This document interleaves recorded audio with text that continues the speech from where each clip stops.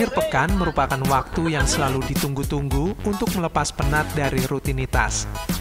Jika panjenengan berencana menyambangi pantai di wilayah selatan Jawa, panjenengan bisa menjadikan Pantai Kelayar yang terletak di Desa Sendang, Kecamatan Donodrojo, Pacitan, Jawa Timur sebagai tujuan. Pantai Kelayar memang menyimpan eksotika tersendiri.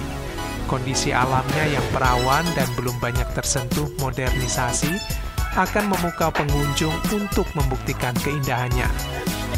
Bahkan pada hari libur tidak sedikit wisatawan luar daerah yang sengaja berkunjung ke pantai yang berjarak 35 km arah barat kota Pacitan itu.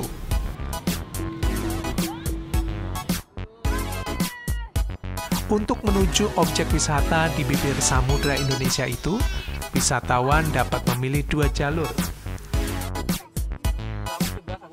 Jika datang dari arah Solo, Jawa Tengah, bisa melewati rute Donorojo, Kalak Layar. Namun jika berasal dari arah Pacitan, wisatawan dapat melalui rute Punung Bomok Layar. Di jalur ini, wisatawan dapat sekaligus mampir ke Gua Gong, yang merupakan gua terindah di Asia Tenggara dengan kondisi jalan beraspal yang cukup mulus.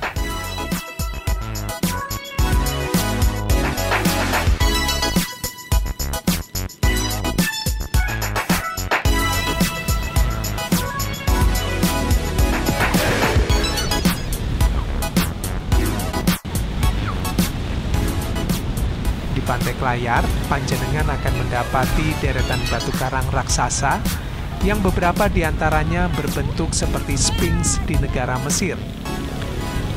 Ada pula keunikan lain berupa karang bernama seruling laut atau seruling samudra. Seruling samudra ini sebenarnya sebuah cekungan yang terdapat di bagian bawah batuan yang ada di perairan pantai Kelayar. Karena adanya cekungan tersebut, maka air laut akan masuk ke dalam cekungan, kemudian menyembur keluar permukaan, melewati sela-sela bebatuan dan menghasilkan bunyi yang mirip dengan bunyi seruling. Tujuan saya ini adalah karena saya penasaran dengan indahnya Pantai Kelayar. E, menurut saya sih Pantai Kelayar sangat bagus dan tempat bermain untuk warga yang sangat baik dan aman. Tetapi namun kekurangan menurut saya karena akses jalannya untuk menuju wisata-wisata lainnya. Seperti wisata air mancur sebelah sana sangat jauh. Jadi butuh kendaraan motor cross yang itu sudah dibantu oleh masyarakat sini. Mungkin menurut saya ke depannya akses jalannya lebih dipermudah mungkin dengan parkir yang bisa sampai sini baik motor ataupun mobil Selain bermain air di bibir pantai, panjenengan juga bisa menjelajahi pinggiran pantai dengan berjalan kaki atau menyewa ATV. Tarifnya cukup terjangkau. Cukup membayar Rp75.000 jika panjenengan ingin mengendarai ATV sendiri atau Rp50.000 jika dikendarai bersama pemiliknya.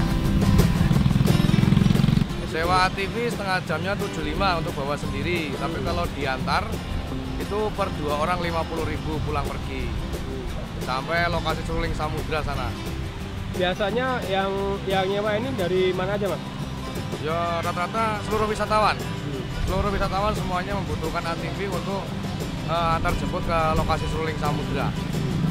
Kalau untuk per grup ya masing-masing ada yang tujuh kali ada yang enam kali nggak mesti karena ada dua grup ini.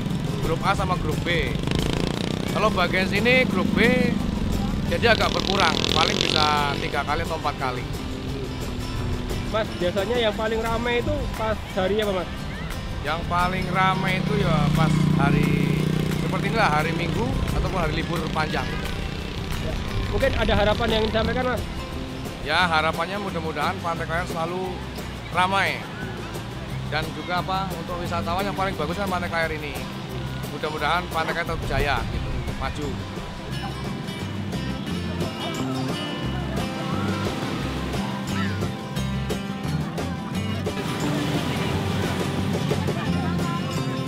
Di balik keindahan alamnya, Pantai Kelayar ternyata cukup berbahaya.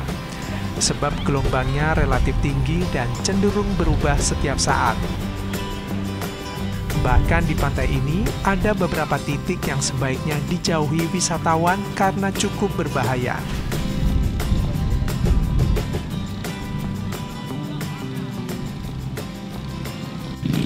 Kalau hari-hari tertentu mas, ya kalau Sabtu Minggu ya rame. Terus dari Lebaran sama Tahun Baru. Mas biasanya nek, nek pengunjung sing bandel gitu gimana mas? Ya pengunjung yang bandel ya harus kita kerasin mas. Soalnya kan hitungannya taruhannya nyawa. Itu daripada nyawanya yang hilang, mending orangnya yang dikerasin aja. Mas mungkin ada himbauan nih mas buat wisatawan yang berkunjung ke pantai layar mas. Ya hiburannya untuk wisatawan ya harus menaati rambu-rambu laut mas. Eh, yang penting nggak boleh berenang di laut, soalnya pantai Klayar ini kan arusnya sangat besar. Jadi lebih nya- kenyamanan bagi pengunjung ya untuk menaati rambu-rambu pantai Klayar.